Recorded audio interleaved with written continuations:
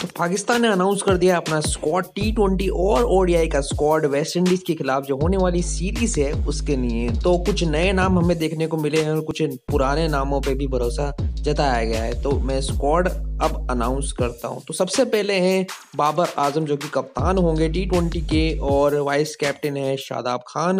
آصف علی، اس کے بعد ہے فخر زمان، حیدر علی کا واپس سے انکلوژن کیا گیا ہے، حارث روف کا انکلوژن کیا گیا ہے، افتخار احمد خوش دل شاہ، محمد حسنین، محمد نواز، محمد رضوان اور محمد وسیم جونیئر، شاہین آفریدی، شاہ نواز دھانی کا ٹی ٹوینٹی ڈیبیو ہو سکتا ہے اور عثمان، قادر کا بھی انکلوژن کیا گیا ہے یہاں پہ۔ اور او ڈی آئی کی بات کریں تو شاداب خان، بابر اعظم، آصف علی، فخر زمان، حیدر علی کو دوبارہ سے انکلوڈ کیا گیا ہے۔ حارث رعوف افتخار احمد کو بھی انکلوڈ کیا گیا ہے۔ امام الحق خوشدل شاہ کا انکلوژن اور محمد نواز، رضوان، محمد وسیم جونیئر، حسنین سعود شوکیل، شاہ نواز دھانی۔